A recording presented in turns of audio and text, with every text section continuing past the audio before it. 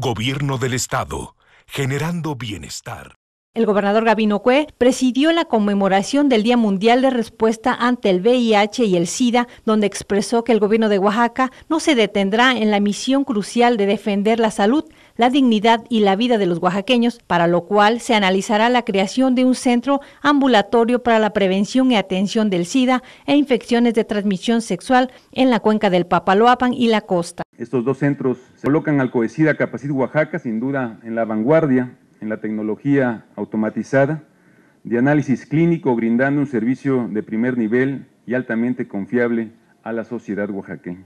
De esta manera, pues, estamos contribuyendo con el programa conjunto de la ONU sobre el VIH-Sida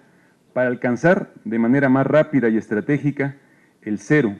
cero nuevas infecciones del VIH, cero discriminación y cero muertes relacionadas con este mal. En el marco de esta conmemoración, el mandatario entregó en las instalaciones del COESIDA Capacit de los Valles Centrales vehículos para los programas de prevención, control del cáncer cervicuterino, enfermedades transmitidas por vector, dengue, arranque parejo en la vida, además de poner en marcha tres nuevos consultorios con una inversión superior al 1.5 millones de pesos. Gobierno del Estado, generando bienestar.